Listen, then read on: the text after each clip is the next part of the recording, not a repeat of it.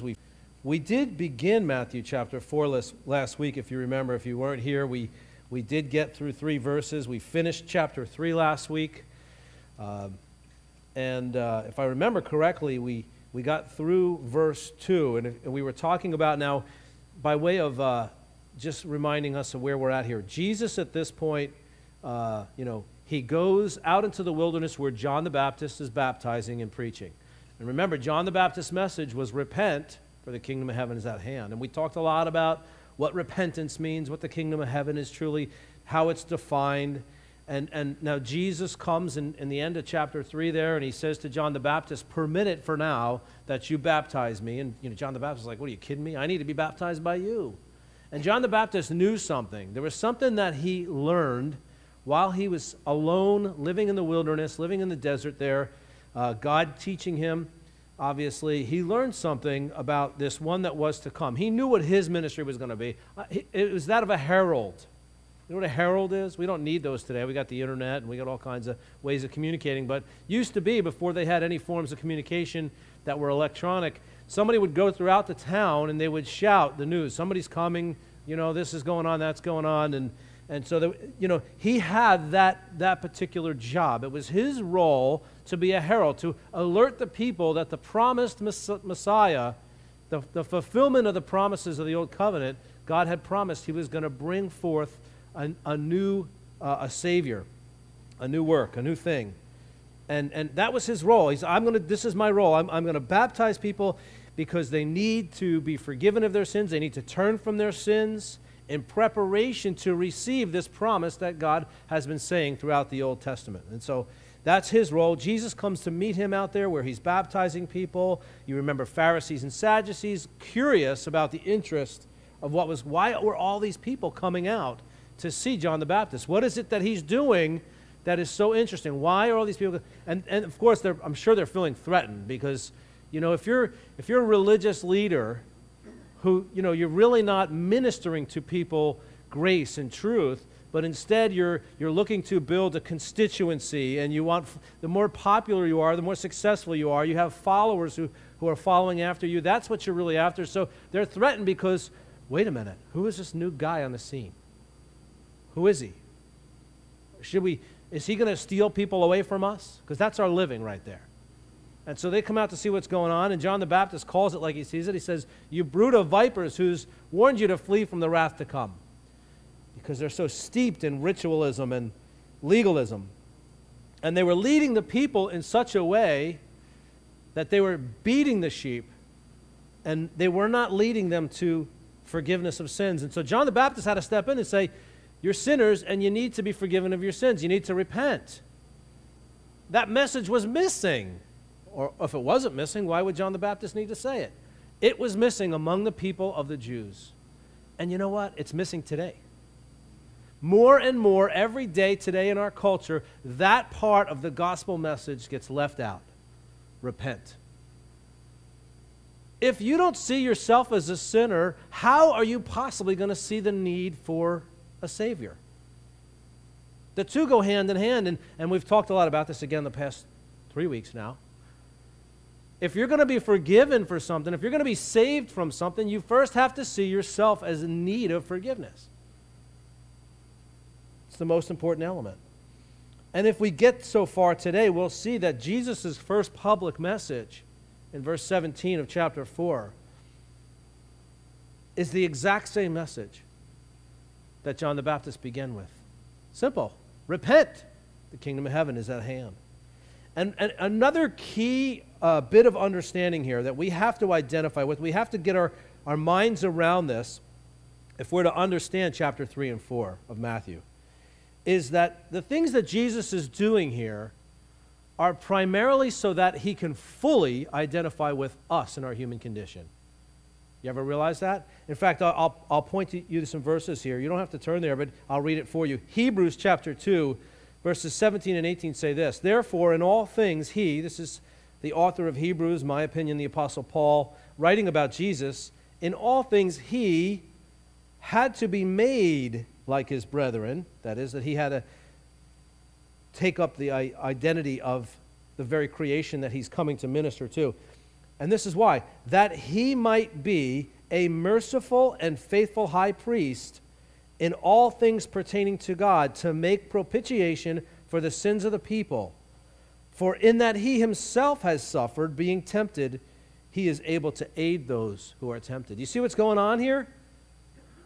God taking on the form of his own creation for the purpose of redeeming us, and in doing so, knowing that he needed to suffer all things that we suffer, so that when it comes to his role as priest in our lives, he can fully identify with us in every way, with one exception he did not sin.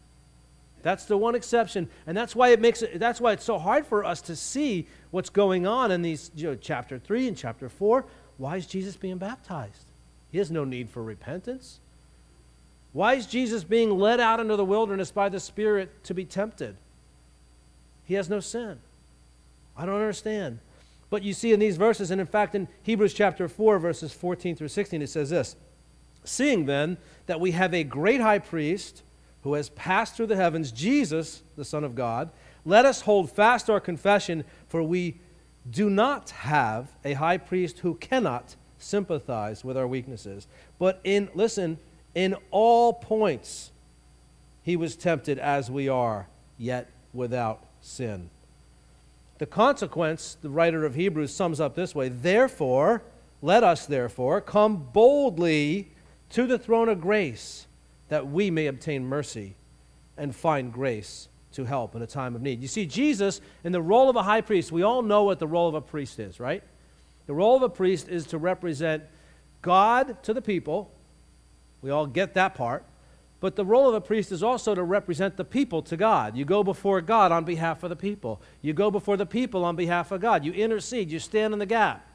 That's what Jesus knew that he was going to do. And in doing so, going to the right hand of the Father, making intercession for us continuously, in order to fully identify with us, this chapter 3, this chapter 4 needs to happen, and he knows that.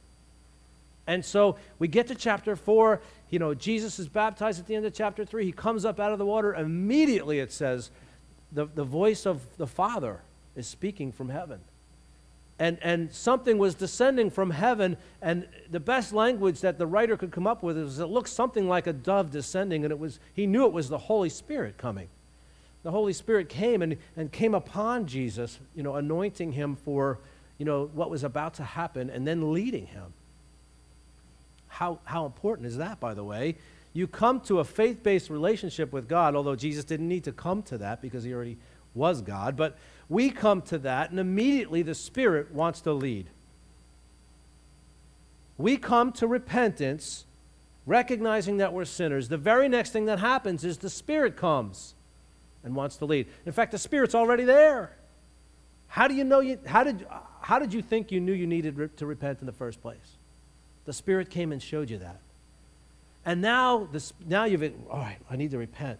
And this thing that Jesus did on the cross 2,000 years ago, I needed that. And, and, and now I've I'm turning from my sins. I'm receiving the forgiveness of sins on the cross, what Jesus did for me. But guess what? Now the Spirit wants to lead. And this is an area where I see the most struggle in the church today is people being led. Well, how do you know where God's leading? Very interesting question. The first place he leads Jesus is out into the desert. I don't want to go to the desert, you say. I don't blame you. I used to live in Arizona. Arid zona. Hey, listen, it's a beautiful place.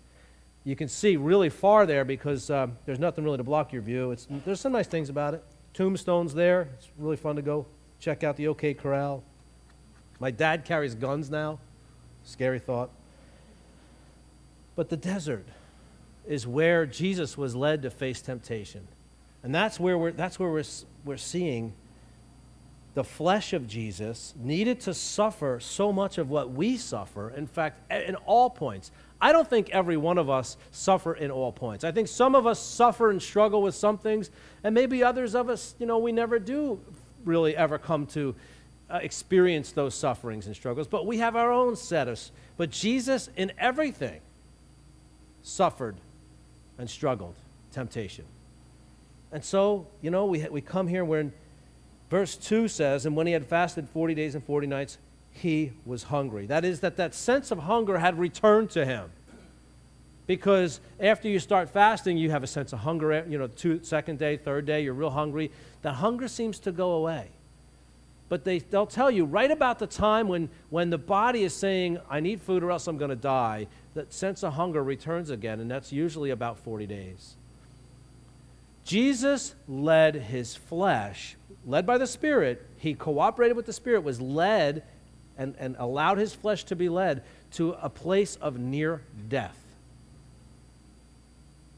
That's the reality for you and I. If the Spirit's leading you, where's the Spirit leading you? Death of your flesh. That's where the Spirit wants to lead you. What points do you struggle in? The desert's where you're going to figure that out. You find yourself in the desert. I know, again, you know, we often we struggle with this you know, these desert experiences, we talk about them as, you know, woe is me, you know. But, but talk, think about it in this sense. Praise the Lord, God is, He loves me so much, He wants to put my flesh to death. He wants to, you want to be changed? You want to become more like Christ? Your flesh needs to die. Amen? I, I wanted to throw this verse out to you. Philippians chapter 2, verses 5 through 9 says simply this Let this mind be in you, which was also in Christ Jesus who, being in the form of God, did not consider it rob- robbery to be equal with God, but made himself of no repu- reputation, taking the form of a bondservant and coming in the likeness of men. And being found in appearance as a man, he humbled himself and became obedient to the point of death, even death on the cross. What's required in having this mind in you, which was also in Christ Jesus, is humbling yourself to the point of death of your flesh, that you might be led through the desert, that you might discover who you really are. And you know, sometimes that's a fearful thing. Like, all right, Lord, I don't know how much more of this I can take. I see myself more clearly. I see what a filthy, rotten, stinking sinner I really am. Sometimes that's hard to take. You know, we like to feel better about ourselves. And the Bible always seems to lead us to feel worse about ourselves, right? But there's a good about yourself that you can feel that's true, and then there's a, a bad about yourself that you should embrace. And Jesus wants to lead us to that. Verse 3 After fasting, excuse me, 40 days, 40 nights, the sense of hunger returning, the flesh at its weakest possible point now. Jesus in the flesh. He cannot rely on his flesh, and the tempter comes. Satan, that is. Excuse me. Now, when the tempter had come to him, he said, If you're the Son of God, command that these stones become bread. That sense of hunger. The first thing Satan will do, and the first thing he does to Jesus, is attempt, before we get into the sense of hunger, to cast doubt on truth. Attempt to cast doubt on truth. And so he says to Jesus, now, let me, I'm going to talk a little bit about this because the Greek, there's something funny going on here. But it says, if you are the Son of God, command these stones, okay?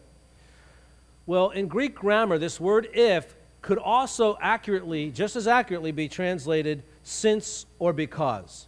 So reread it again, and, and he could literally be saying here, since you're the Son of God, or because you're the Son of God, or if. Any one of those three words is accurate. Now, different guys will debate over which one's the right one. You know what? It really doesn't matter.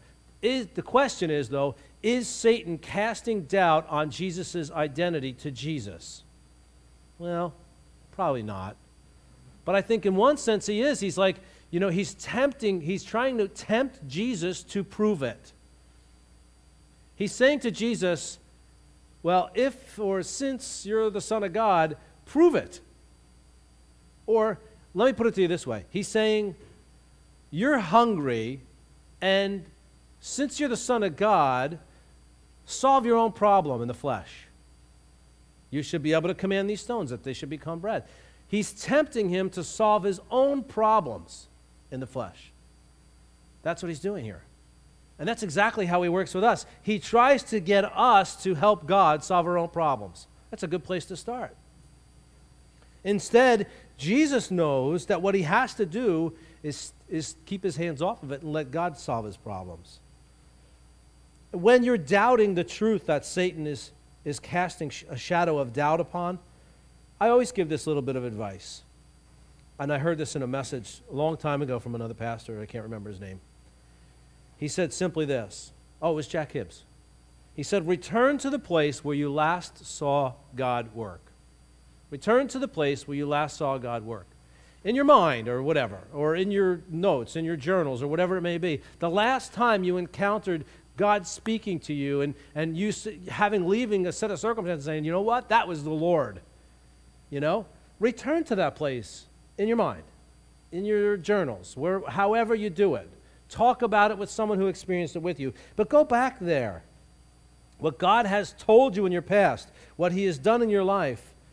If you're doubting today, if the enemy is casting doubt on the promises of God, return to that place because that was a principle we see repeated throughout the Old Testament. In fact, the Jews were told to take stones out of the bottom of the Jordan near Jericho and stack them so that future generations could go there and see those stones and remember. Once a year, the Jews, they do this to this day, by the way. They make tents outside their houses and they live in them in order that they would remember the days of wandering in the desert and the faithfulness of God. That's, an, in a sense, a way of returning to a, a major place where they saw God work. You drive through Lakewood and you see these houses along County Line Road or through the back neighborhoods, and you see these makeshift little huts outside attached to the side of the house. And you're like, what is that? Well, they go and they live in that. They, they will not live inside their house for a time so that they can teach their kids. This is what it was like for our descendants who dwelt in the desert. Interestingly, they dwelt in the desert for 40 years. 40 seems to be a number of consecration. You ever hear that? You ever hear any preachers teach that before? Whenever the Lord is trying to get more world out of you and more Jesus in, there's a, there's a need for consecration. And it seems that there's this interesting number that pops up in the scriptures of 40. 40 days of fasting, 40 days or 40 years in the wilderness. Moses was 40 days in the presence of God without food or water, and so on and so forth. You see this number repeating. Now, back to, to verse 3 here. He, he does cast doubt, in a sense, on the identity of Christ. Not so important which side of that debate you fall on. I don't think it's all that important. But he goes right after his flesh. Take charge, he's basically saying. That's the temptation. Take charge. Uh, evil will seek the weakness in your flesh as a target. That's what he's doing. If you struggle with lust, Satan and his demons are not likely to attack you with the temptation of uh, gluttony, right? Why? They will look for your weakness and try to use it against your walk with the Lord. That's what Satan's trying to do. That's what the enemy, the demons, are trying to do. Trying to get you, your focus, your attention off of Jesus. The temptation Jesus is facing is to solve the problem of the hunger of his flesh with the wisdom or the power of his flesh rather than wait for the Lord to solve the problem according to his will. Because who led him out to the wilderness? The Spirit. If he now turns and solves his own problem, would he then be circumventing what God's trying to do? That's the point. The Father, the Spirit, knew how close to death and hungry Jesus was. And, and Jesus could have commanded the stones to become bread, but I think he would have been missing something important in his human experience. His desire, his need to uh, fully identify with our flesh, he would have been cutting that short and therefore not fully experiencing what he was intended to experience. And so many times, I think we get in the way of things that God is trying to do in our own lives or in other people's lives. We throw money at things, we throw resources and people at things. And let me tell you something I'm a firm believer in putting resources and money in places where God is leading. But when God's trying to do something and we just try to step in there in human wisdom and solve the problems, or, or like Bill and I have talked about this a lot, when we, we had it in our hearts that eventually, man, we really want to get a youth group together. And by the way, we got one and it's going great. And, and, but yet we, we struggled with should we do it now? Is it too soon? Or when's God doing it? Was the question we always came back to. Is God doing this? And we didn't we, Bill? We struggled over that for a while. And, and we sat back and we waited, and all of a sudden it seemed like the Lord brought it all together. And it just happened so simply and easily. We, although sometimes I'm sure it feels hard for you, but it wasn't like we forced it. We didn't force our will on God. Jesus responds to Satan's temptations. This is what he says, verse 4. Look with me, if you will. He answered and said, It is written, Man shall not live by bread alone, but by every word that proceeds from the mouth of God. How important is it for you to know what you believe, where it comes from, and why you believe it? Look at Jesus' answer again. Bread, not important. Not important. Why? Because I trust that God the Father and the Spirit know exactly how hungry I am. They know exactly how close I am to coming to the point of death, and that at the very right time, they're going to come and they're going to make sure I don't die. Interesting. And then he says, This is what's important that I live not according to feeding my flesh and making sure that I have the things I need, but instead that every word that proceeds from the mouth of God be my food. How important is it that we know why we believe what we believe and where it comes from? The relationship with God, the Word of God. What do you base your theology on? The word theology is just a simple word. Theo, God, uh, ology is the study or the knowledge of. You know, what we believe about God. Theology. What do you base it on? I find that Christians today predominantly base their theology on their experience. You ever notice that? They define God according to their experiences, the things that they experience in the world. There's a word for that, by the way. It's called existentialism. And then when they hear somebody like me get up and, they, and teach or preach a sermon, they take what they hear and they interpret it to fit their experiences. That's not the way God intended it.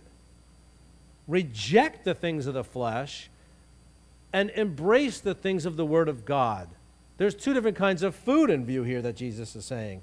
And interestingly, Jesus, we later we learn, is spoken of as the Word himself, he's the Word, become flesh. He is obviously not confused here because in spite of the fact that his circumstances would lead him to come to a different conclusion, he says no. The weakest possible point of his flesh, and he knows he allows doctrine to be his foundation, the Word of God to be his foundation. Therefore, he's not shaken. By the way, on the subject of being shaken, you could read Psalm 62 for homework. Pretty interesting.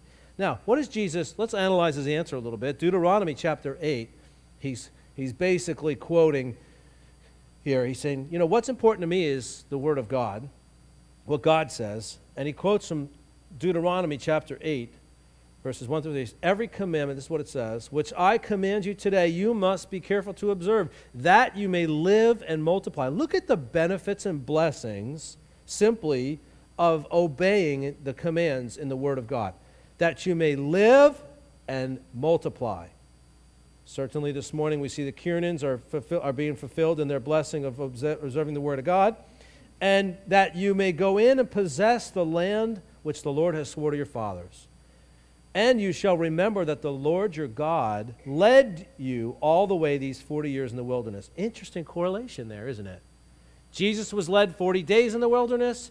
This quote, this section of scripture he's talking about, the people of Israel were led 40 years in the wilderness. Why? Look at this to humble you and to test you to know what is in your heart. The temptation isn't for God to see what's in you. When you, you know, how many people think this? When you're in the desert, that you ever have this idea, well, God's trying to see what's really in my heart? No. God already knows everything that's in your heart and your mind. He's trying to show you what you don't know about yourself. That's the reality. And every one of us, myself included, needs that. We need to see ourselves more from God's perspective, more from the Word of God's perspective, as Jesus is doing here, than from our own perspective. The desert is so that we would see ourselves and know ourselves to be what we really are.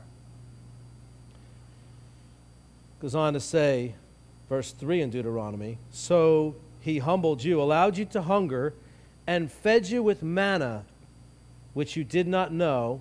By the way, that's what the word manna means is what is this?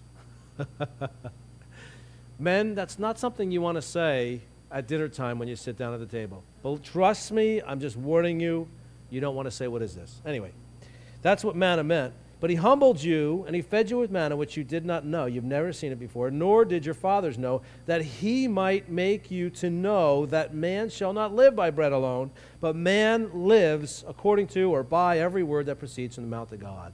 Two different food sources one's spiritual, one's physical. Let the flesh die and feed the spirit. God will make sure your flesh lives as much as it needs to live or dies as much as it needs to die. One other interesting thing about manna, as Jesus uh, quotes from Deuteronomy and makes reference to it indirectly, it was the perfect, we learned from, you know, this is what we learned from Scripture about manna. It was the perfect superfood nutritionally. Those of you who are nutritionalists, you know, from a perspective of eating healthy and, you know, this is the way we really should be living and not add all this, that's absolutely true. I believe in it. Manna was like the perfect superfood. Did you know that? It had every single thing your body needs to be healthy. If we could eat manna today, we'd probably be, I mean, not probably, we'd definitely be a lot healthier than we are right now. There's so much junk in our foods, it's un- unbelievable. But you also learn from Scripture that it really didn't taste like much. Kind of like tofu, you know what I mean? I wouldn't be surprised if manna was ex- almost exactly like tofu. you know how people that, who, who actually eat tofu, they describe it this way. They go, well, it really kind of takes on the flavor of whatever you cook it with. Anything that needs to take on the flavor of something else, I'm thinking, why? You know, what are you just trying to fill, fill yourself up? And I guess that's one good reason for it, and that makes sense. But, but uh, it's not appealing to the flesh, you guys. Manna was not something you looked at and go, man, I can't, I'm salivating. I can't wait to sink my teeth into that. That's not manna. And when God provides for your needs, He's more concerned with sustaining and developing your life and your likeness of Jesus than He is with appealing to your flesh. He doesn't care about appealing to your flesh. Do you get the point? Let's go to verse 5.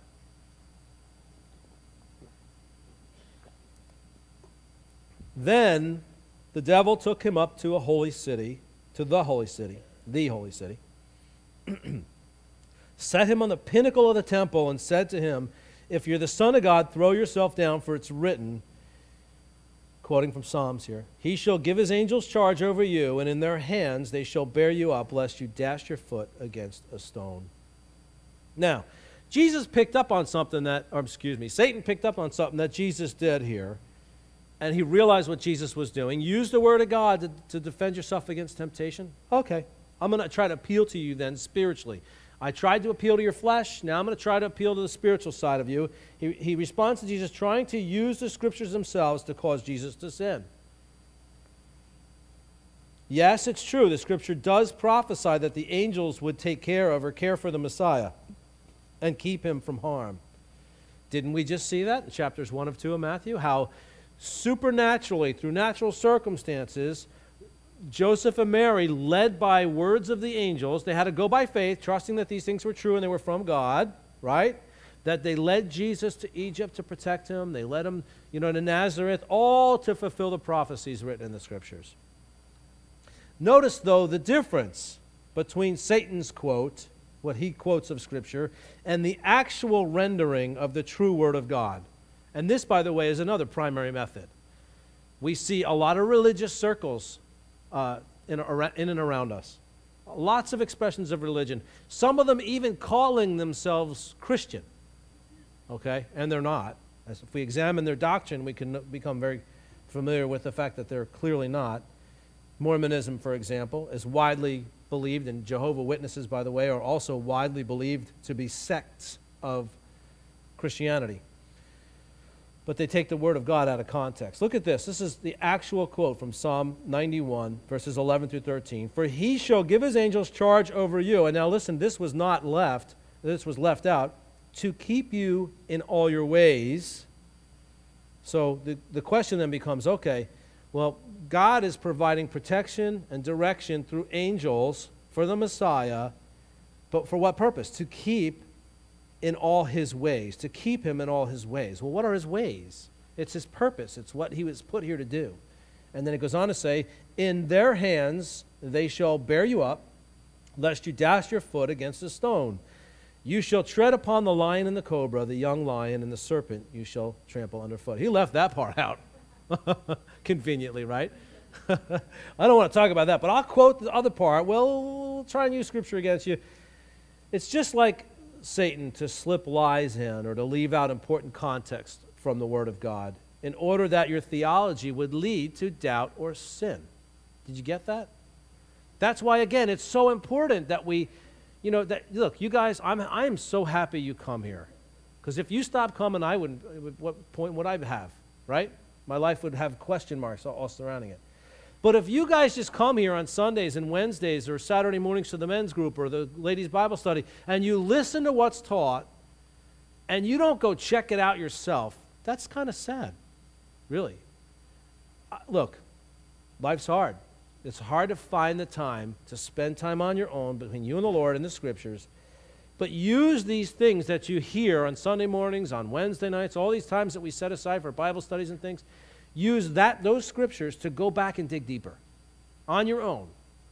You're like, where do I start? That's where you start. Where's God, you know, ministering to you? Is it Sunday morning messages? Is, is it Wednesday? Is it which one is it? What are you doing? What, where's God touching your heart? Well, go back and spend some time in those scriptures. You know, learn how to use a concordance, dig deeper.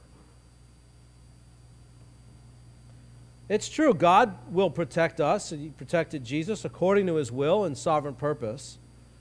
And so we see the need to understand that God comes uh, from all things, good comes from all things, excuse me, I'm reading from my notes to those who love God and are called according to his purpose. God will protect us. He'll bring about his plans in us. And he'll use all these bad circumstances, earthly bad, for his good. That's true. But we need to let God do things his way in his time.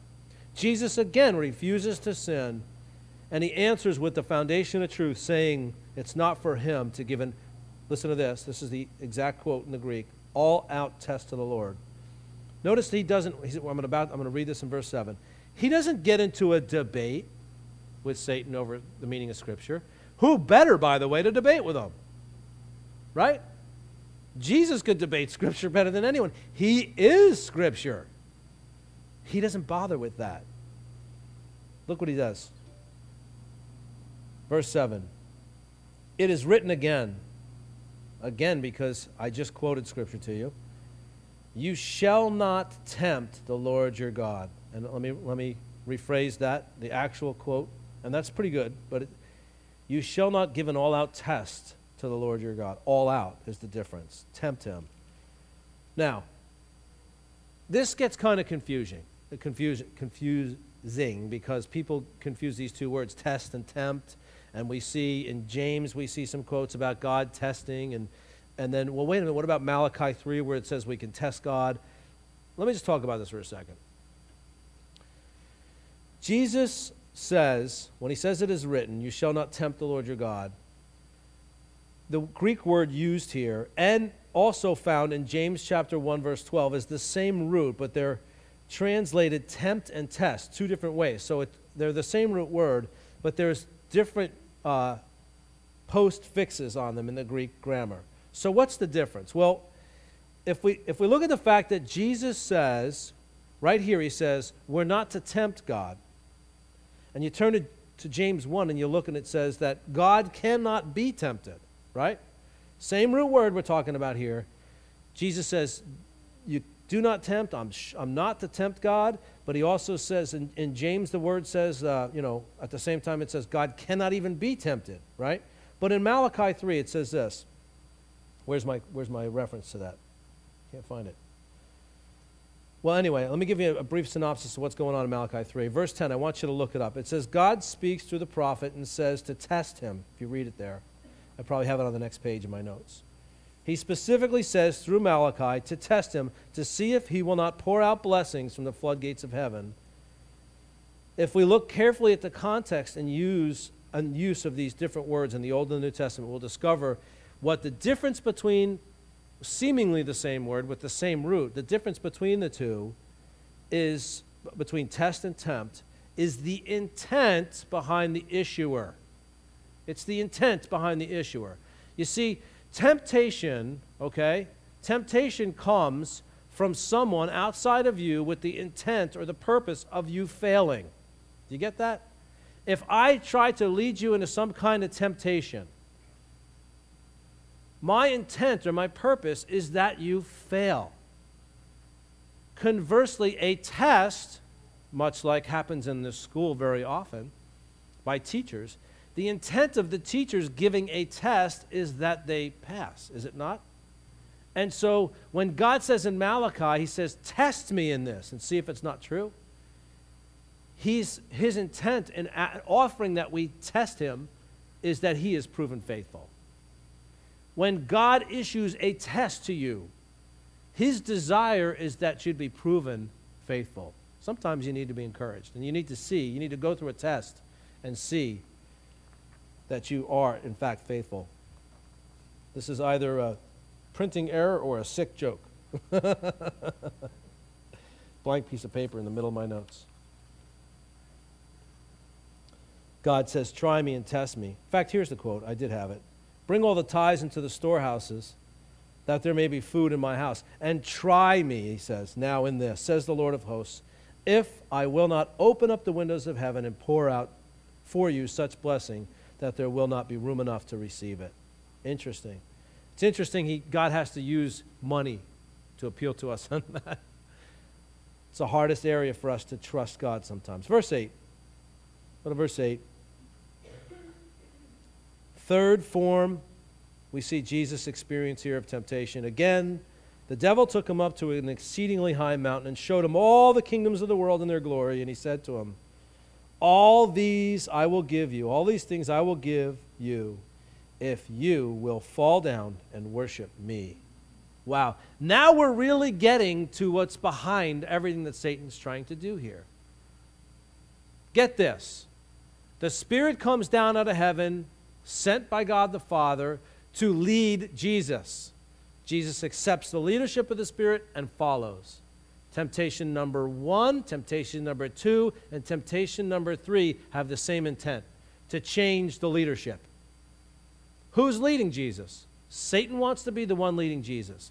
So if Satan can begin to give instruction to Jesus that Jesus follows, suggest things, cause him to get confused and oh well yeah why not and he starts with something so subtle well it's your you, you have the power go ahead change these stones into bread but by accepting that as his suggestion he begins to be led by satan. Do you get the difference here? Who you led by? The king of the world or the king of heaven? Who you led by? Zeke's pointing somewhere. Oh okay he's pointing up. That's a good thing zeke. That's a good thing. I thought you were trying to give me an idea. I got to hurry up here. You're probably right. The ultimate goal of Satan is the very cause of his current condition. The very goal of Satan is the very cause of his current situation, condition, position. He wants to be God, he wants to be worshiped. He's not worthy of worship, but he craves worship. He offers nothing but sorrow and suffering, but he tries to desperately convince us that he can offer us wealth, power, health, and happiness. It never turns out the way he presents it to us. Did you ever notice that? When Satan offers you something and you accept it and you buy into it and you go for it, it's never what it seemed. It's never what it promised, is it? It's like advertising on television.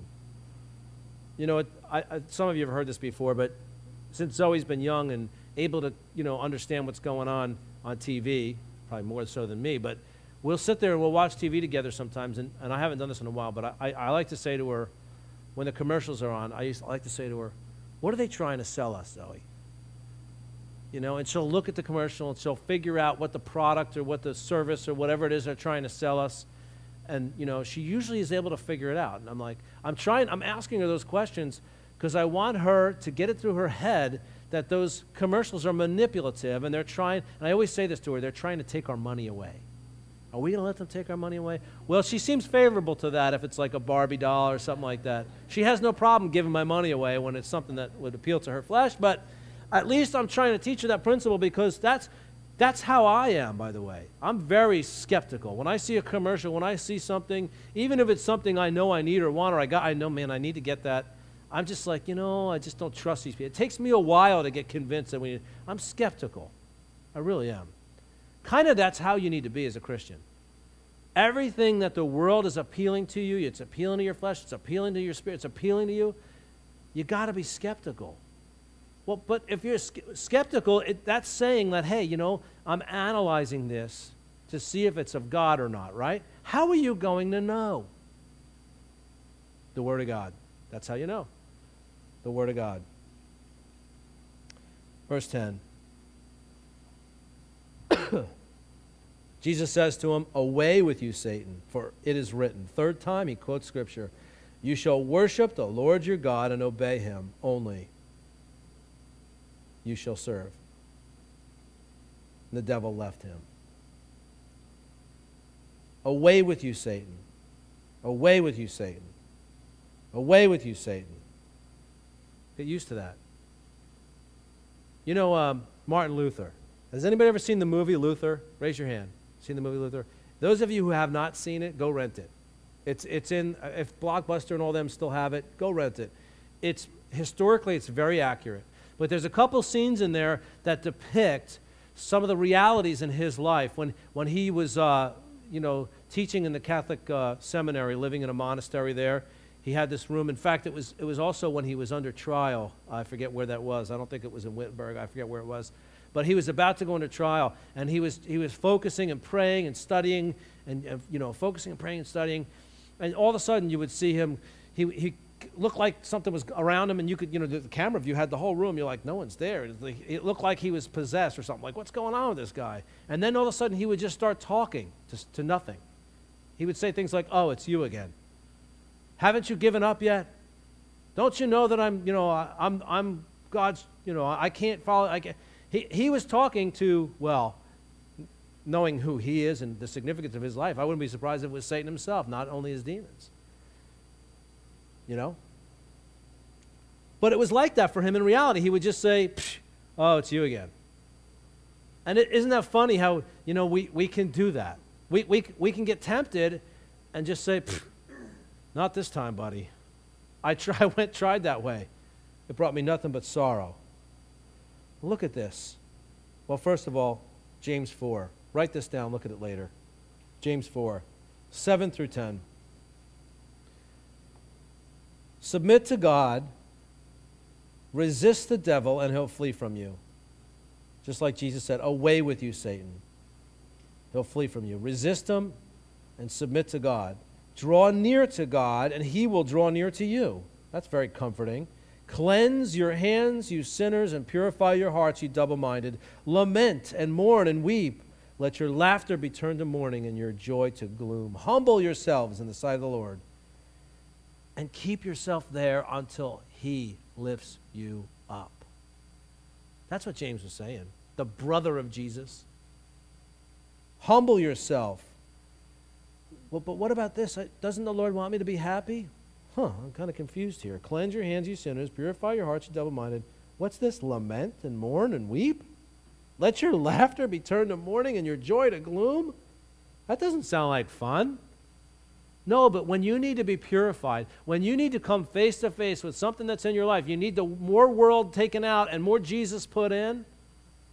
You got to see yourself from God's perspective. And, and when being confronted with the reality of your own sinful nature, you weep, you lament, and you mourn. When we get to Matthew chapter 5, by the way, at this rate, it could be in a year or so, we're going to see in, in, in that awesome sermon that's preached so many different ways and times, we're going to see the reality of an experience with God. Blessed are those who mourn. Blessed, blessed, blessed are those whose hearts are broken over sin. Blessed. Blessed. The reality of Jesus resisting Satan's temptations, resisting the temptation to change the leadership of, of his flesh from the spirit to the world, is basically what's going on here. Satan, the king of this earth, right? I'm not going that way. I'm sticking with the Word of God. I'm sticking with what I know to be true.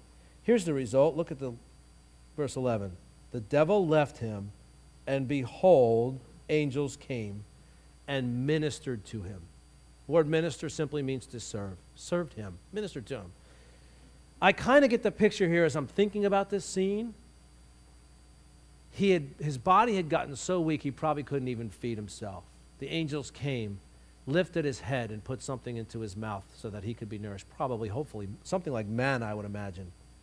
Something that didn't appeal to the flesh, but nourished it back to life.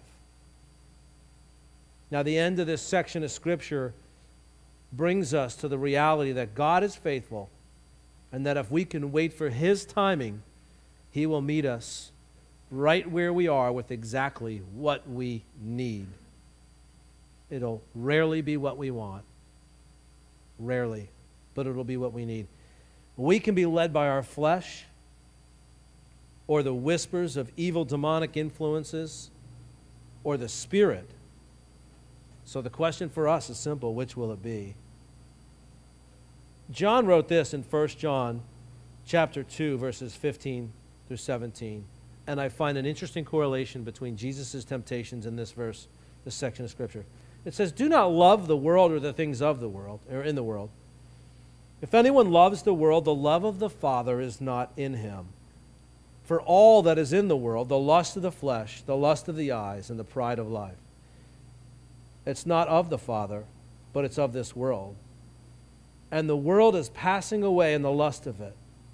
But he who does the will of God abides forever. You notice that?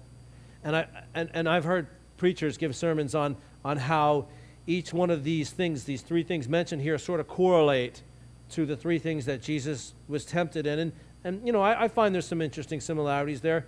But, you know, ultimately, it comes down to one choice who's going to influence you the most? Is it going to be the world and your flesh? Or is it going to be the God the Father, the eternal kingdom, and the Holy Spirit? Let's all stand.